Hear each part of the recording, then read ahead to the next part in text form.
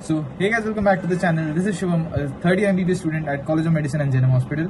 So, this video is regarding NEET 2024. Just six months बचे हैं अब सिक्स मंथ अगर हम देखें तो रफली अराउंड होता है तुम्हारे पास वन एटी डेज़ राइट तो अब वन एटी डेज़ में क्या क्या तुम्हें फोकस करना है और किस चीज़ में मेनली तुम्हें फोकस पे जाना है राइट तो अगर हम देखें सबसे पहले हमारे पास तीन चीज़ें हैं that is the physics chemistry and the biology section अब केमिस्ट्री और बायोलॉजी जो है वो मेनली तुम्हारी सिलेक्शन की तरफ़ जाता है एंड जो फिजिक्स है वो तुम्हारे रैंक की तरफ़ जाता है बट जो मोस्ट इंपॉर्टेंट है कि इन तीनों में तुम्हें अच्छा स्कोर करना है to get selected in NEET and as well as good rank in NEET अब नीट 2023 का कट ऑफ़ जो था 2022 से इंक्रीज हुआ है तो ऑब्वियसली 2024 का भी इंक्रीज होने के ज़्यादा चांसेस है, क्योंकि हर साल जो कंपटीशन है, वो इंक्रीज कर रहे हैं। Every year number of aspirants are increasing और ऑब्वियसली आजकल एज कंपेयर टू पहले, आजकल क्या होता है कि मतलब बहुत सारे ऑनलाइन प्लेटफॉर्म्स आ चुके हैं तो वो ज़्यादा तुम्हें हेल्प करते हैं। ऑनलाइन प्लेटफॉर्म्स हो गए, बहुत सारे छोटे छोटे कोचिंग सेंटर्स भी खुल गए हैं तो उनसे ज़्यादा बेनिफिट हो रहा है नॉर्मल पब्लिक को भी। तो इस पर क्या हो रहा है कि जो कॉम्पिटिशन है वो ज़्यादा इंक्रीज कर रहा है राइट तो ठीक है अभी ज़्यादा कंपटीशन में घुसना नहीं है। We have to just focus on this six month कि हमारे पास सिक्स मंथ बचे। अब इन सिक्स मंथ का कैसे यूटिलाइज करना है? दैट इज़ रफली वन एटी डेज़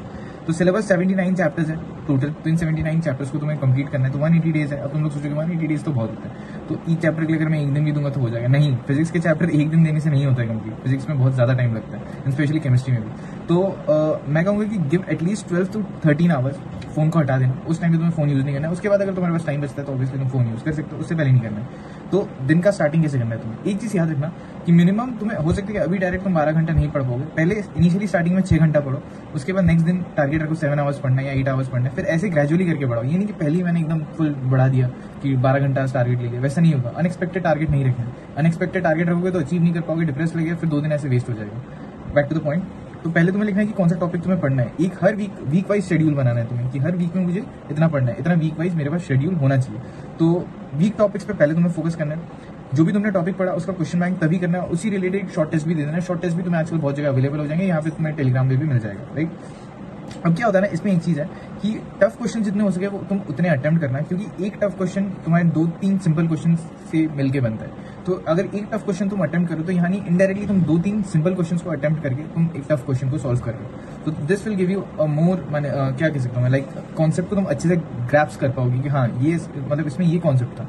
तो कुछ होता है कि आ, ऐसा है ना कि मतलब टफ क्वेश्चन जो होते हैं वो कभी बार निमोनिक से भी सॉल्व हो जाते हैं। तो बेटर रहता है कि अगर तुम्हारे पास कोई निमोनिक्स हो तो वो एक्चुअली तुम्हें बहुत ज़्यादा हेल्प करता है उस चीज़ के लिए कि, ठीक है मतलब ये इतना लंबा चीज़ था, इतना कोई लंबा टॉपिक जैसे इनऑर्गेनिक केमिस्ट्री हो गया बायोलॉजी में भी कुछ चीज़ें होती है जो याद नहीं हो रहा है निमोनिक्स के थ्रू याद रखना है। तो ये चीज़ बढ़िया होगा कि अगर तुम निमोनिक्स यूज़ करना स्टार्ट करो। निमोनिक्स जितना यूज़ करोगे, उतना बेटर रहेगा तो तुम्हें रिटेन करने में भी तुम्हारे लिए बेटर रहेगा ये ऑप्शन की हाँ ज़्यादा दिन बचे नहीं और इन निमोनिक्स अगर मैं याद रखता हूँ तो डायरेक्ट ऐसे कोई क्वेश्चन आता है, जो निमोनिक्स में बैठ रहा है तो वहाँ पर तुम्हें प्लस फोर मिल जाएगा राइट एंड वैसे भी टफ क्वेश्चन के लिए निमोनिक जो होता है, वो ज़्यादा हेल्पफुल रहता है। तो उसके लिए मैं एक ऐप सजेस्ट करना चाहूँगा दैट इज़ मेमोनी तो तुम मेमोनी पे जाके इनके निमोनिक्स चेक कर सकते हो। दोज आर वेरी गुड क्योंकि जब टेंशन वाला टाइम आता है तो उस टाइम पे निमोनिक्स से दिमाग में घूमता है। और जो इजी निमोनिक्स है, वो ज़्यादा इजीली तुम समझ सकते हो, याद कर सकते हो एंड इसी के थ्रू तुम क्वेश्चन को सॉल्व भी कर सकते हो। तो mnemonics are very important for NEET क्योंकि यहाँ पे तुम्हारे पास उतना टाइम नहीं रहता है कि याद करना है रिकॉल करना है एनसीआरटी के कौन से बायो के पेज नंबर पर लिखा था एंड ऑल उस जगह mnemonics are very helpful in fact मेमोनिटी में जाकर तुम लोग प्रीवियस क्वेश्चन भी यहाँ पे तुम सॉल्व कर सकते हो। They have more than thirty thousand plus question उनके टेस्ट सीरीज़ भी बहुत ज़्यादा अच्छे हैं। एंड इनका स्पेशली मेरे को जो रिविजन फीचर लगता है, वो भी बहुत ज़्यादा अच्छा है, जो ए आई यूज़ है। And next thing is memo NEET से last year hundred out of hundred question आए थे बायोलॉजी में एंड केमिस्ट्री में फोर्टी एट क्वेश्चन आए थे. So you can go check this app out link is in the description एक और चीज़ मैं बताना चाहूँगा if you are interested in this app तो इनका अभी दशहरा सेल चल रहा है. So you can use the code Dussehra to get around five thousand rupees off इनके लीड प्लान के लिए. ओके okay, तो अब नेक्स्ट बात करते हैं हम यहाँ पे uh, जो भी तुमने टास्क लिखा है, उसको अपने गिवन टाइम लिमिट में तुम्हें कंप्लीट करना है। जो भी गिवन टाइम लिमिट दे रखा है राइट कि तुमने दे रखा है कि फॉर एग्जांपल मुझे रोटेशनल मोशन कंप्लीट करना है लेट्स जस्ट से कि थ्री डेज़ में। थ्री डेज़ में मुझे अच्छे से पढ़ के कंप्लीट करना है। तो उसे थ्री डेज़ के अंदर ही तुम्हें खत्म करना है। यानी कि चार, पाँच छः दिन लगा दी एकदम नहीं। इसका मतलब तुम टाइम वेस्ट कर रहे थे, तुमने ठीक से पढ़ाई नहीं की। ठीक है? नेक्स्ट है टाइटर हाँ ये पॉइंट मैंने इसलिए लिख रखा था टाइटर वाला कि बहुत टाइम पे क्या होता है ना कि क्वेश्चंस आते हैं, ठीक है? प्रैक्टिकल रिलेटेड अब बहुत जने होते हैं कि प्रैक्टिकल जो इलेवन ट्वेल्थ की नॉलेज है, वो वहीं पे छोड़ देते हैं। तो यहाँ पे तुम्हें याद रखना है कि 79 क्वेश्चन जो 79 चैप्टर्स है, वहाँ पे तुम्हें प्रैक्टिकल्स को भी दिमाग में रखना है कि मुझे प्रैक्टिकल्स भी पढ़ना है इलेवन ट्वेल्थ में। इलेवन ट्वेल्थ के प्रैक्टिकल्स या बेसिक्स मुझे नहीं भूलने दैट इज़ वेरी इंपॉर्टेंट वहाँ से भी दो तीन क्वेश्चन आते हैं जो कि बहुत मतलब ईजी रहते हैं और ईजिली तुम वहाँ पे अराउंड अगर देखे तो हम बारह मार्क्स स्कोर कर जाओगे। बारह तो नहीं एक्चुअली पंद्रह मार्क्स क्योंकि माइनस थ्री होता है। और हम लोग तो अटेम्प्ट कर ही देते कुछ कुछ हम लोग की, अरे ठीक है अटेम्प्ट कर ही देते तो कम आ ही देते क्या होगा? राइट तो नेक्स्ट है कि focus on physics and chemistry first तो 180 डेज़ में पहले तुम्हें फोकस करना है अपने फिजिक्स एंड केमिस्ट्री के ऊपर। क्योंकि बायो जो है वो रटने वाला पार्ट है। उसमें तुम उतना कुछ कॉन्सेप्ट वगैरह नहीं है बायो में तुम्हें रटना है। तो उसके लिए तुम्हारे लिए टू मंथ्स भी मोर देन इनफ है, ठीक है? फ़र्स्ट तुम्हें फिजिक्स एंड केमिस्ट्री में जाना है। फिजिक्स केमिस्ट्री में से भी फिजिक्स पे तुम्हें ज़्यादा फोकस करना है।